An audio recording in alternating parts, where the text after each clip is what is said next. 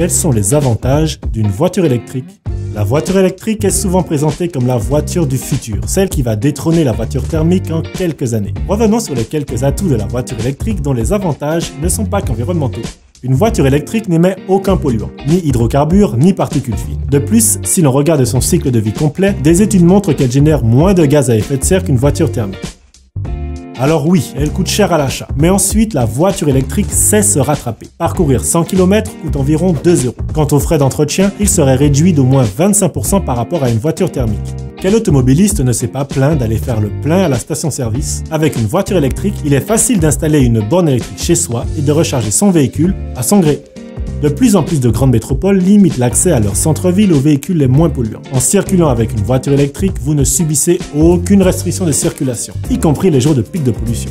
Posséder une voiture électrique peut aussi donner droit à des réductions. Des villes offrent le stationnement aux voitures électriques. Certaines sociétés d'autoroutes appliquent un tarif préférentiel pour les voitures électriques au péage. Dernier avantage, la voiture électrique est ultra silencieuse. Parfait si vous aimez écouter la musique en conduisant.